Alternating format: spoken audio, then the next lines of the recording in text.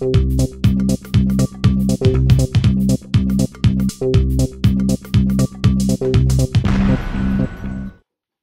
in this tutorial, I'm going to show you how you can make your Arduino into a piano keyboard of sorts. Um, I made it with five keys. I'll show you the uh, my actual um, setup at the end of the at the end of the video. But first, I'm going to describe um, the coding and the the wiring here. So if you had looked at my speaker tutorial, this is pretty similar to that. If you didn't, that's no big deal. You should be okay. Um, but I will say that you're going to need um, some sort of speaker. Um, I have, again, I have links. If you look in the description, I have links to where you can buy this um, hardware. Also, you'll want a touch sensor, uh, FRS, I think they're called. Uh, again, F, I'm sorry, FSR. Um, these are the, the touch sensors that are typically used with our Arduinos. Again, links to where you can purchase them on my website. So here's the setup. You have a, the speaker has a definite positive and negative. You want to make sure uh, that you give the positive a uh, port here, digital port, digital pin that's going to hook into the positive here. And then the negative is going to just go to your ground, right? So that's the speaker. When we want to sound send some sound to it, we will do it via this pin. In this instance, we have pin 8, right? Now, the way the touch sensor works, you have two legs here. Uh, it shouldn't matter which one is which. You want to hook it up so that you're giving power to one leg. The other leg, you're going to, so if you see this actually goes here and to the 5 volt the left leg here, or the other leg, goes to two different things. Actually, it's going to go via this resistor to ground. There's a ground over here on your Arduino. And then you also have it going to an analog pin, right? And it's important that it, it does that all on, on the same side as the ground. And it's important that the analog pin be on this side of the resistor. So make sure you have yours set up that way. Uh, I have five different touch sensors in my project.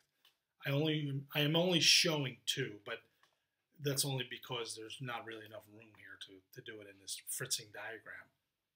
However, you should add as many as you want. Uh, I think there's six analog pins, so you may be capped at that. This uh, is the same setup though as this one here. It goes to power, and then it goes to analog, and then it will go to uh, ground. So just replicate that for as many as you want to add. So like I said, in my code here, I have five pins. I, on the Arduino, you see the, the analog pins are down here. It uh, starts at A0 and goes to A5, so that's six pin jab. I'm just using five. That's all the touch sensors that I had. And I actually gave them the, uh, in the code, I gave the name, the variable that I was going to use I named it after the tone that I'm going to produce. So this is going to a, a G note, an F note, E note, D note, C note. Um, and I'll, I'll, explain to you how that works in a second.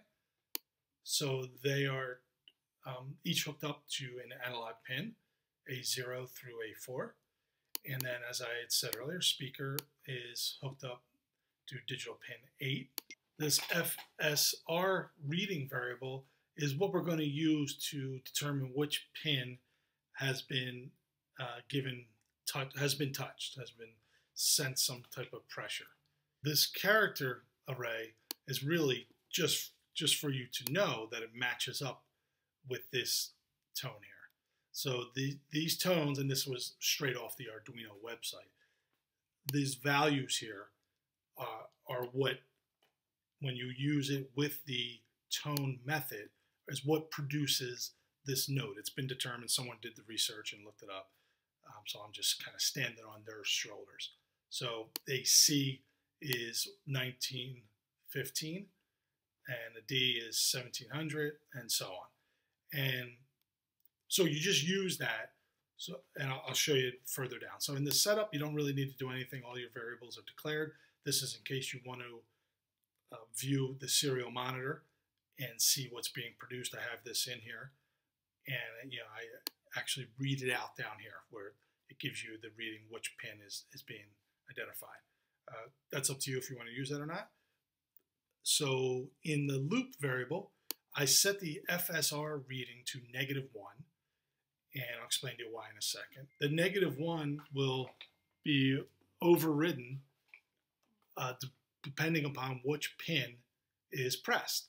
So, and I just made it if the pin is greater than 10, which is really just a small touch, um, that then will go into the if statement and give it give the S, FSR reading variable the associated tone. So, for instance, the G pin, if that one was pressed, then it will have a value greater than 10, and thus the FSR reading variable will be equal to 4. And if you look up here, remember arrays are zero base, so it's 0, 1, 2, 3, 4. There's the G variable, and we're actually going to use it down here. So 0, 1, 2, 3, 4. It's going to be 1275 when we use it eh, with the tone array, which is right here, right? So that's how that works. That's and if each of these if statements works just like that. If none are pressed, then we stay at negative one. And you'll see down here, if if it's negative one or below, we just don't produce a tone. And so that's how that, that works. Uh, the and you can mess around with this. I have this at a thousand, which basically basically makes it so when you press a tone, it will linger for about a second. Now you'll notice that my delay is only 100. So if I press a second tone a half second later, it will override the first tone. And then it will last about a second unless another uh, sensor is pressed in, before that second is up. So that's how that works. Hopefully that makes sense for you. Uh, let's look at a demonstration. So as you can see from um, the setup here, I have my touch sensors taped down so that they work more like a keyboard. And I actually um, put the corresponding notes so that I would remember which is which um, on them there with some tape. And, uh, and, there's the setup that we looked at in the diagram. And I have my uh, Uno there that is uh, all wired. So let me just show you then. So if I plug in, and this is actually, by the way, a pretty cool little device that you can get just about anywhere. Um, just a 9 volt battery, but it has like a battery pack with an N. That's that barrel that goes into uh, the Arduino. So it's pretty nice um, for powering it on the move. So I'm going to put that in and it's powered up now um, so I can you know kind of go wireless here in a way and uh, let's try it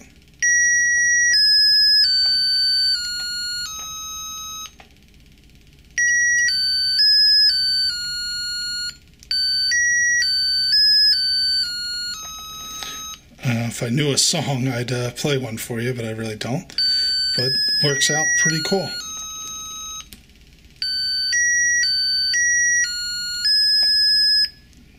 Hope you like this uh, project. Subscribe and, and let me know if you have any questions.